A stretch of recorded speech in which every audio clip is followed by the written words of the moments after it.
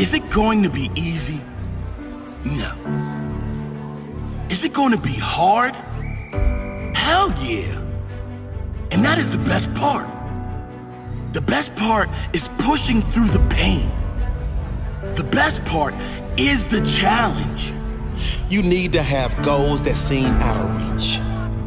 At least goals that are hard to reach.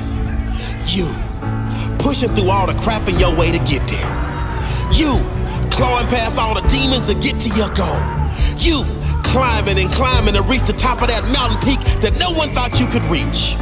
It's you, hearing your body say no more, and then hearing your mind say, shut up, I got this. I'm in charge today, and you're coming with me. You see, your mind is stronger than your body. And if you program your mind to always go one more round, to always push past what you perceive as your limit, to give more than anyone else would ever expect from you, sooner or later your body will realize this guy won't let up. So I'm just gonna have to grow with him. Your muscles in the gym and in life can only grow with resistance, with struggle, and by pushing the limits, by expanding expectations. In the gym, putting a little more weight on the bar each time, going a little further each time, pushing a little harder each time. In your life, extending your goals a little more each time, learning a little more every day, expanding your mind every day, pushing the limits of what is possible for you until you break that barrier you need to break. Then you set a bigger goal a more exciting goal.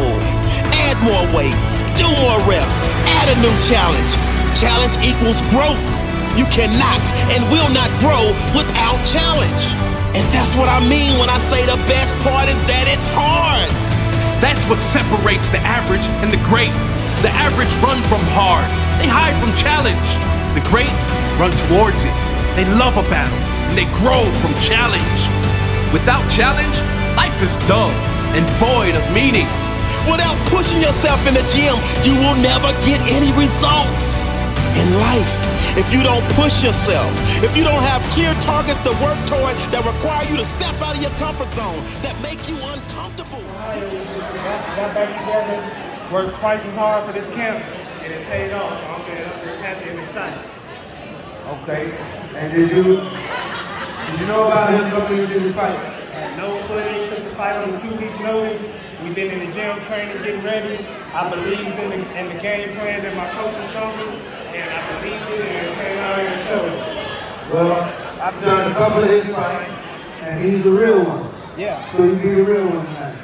So that's good for you. That's good. Yes, sir. Nice job. Thank you, sir. So what, what do you think? Oh man, you know, I'm gonna stay humble, man. We uh, we got a chance to get the fight. You know, we took the fight on a two week notice, and uh, we was ready. You know, we got nothing. I mean, you know, y'all took the fight on a two week notice. But I know you. The man was in the chill. We gonna stay ready. That's how you go. All right, good job.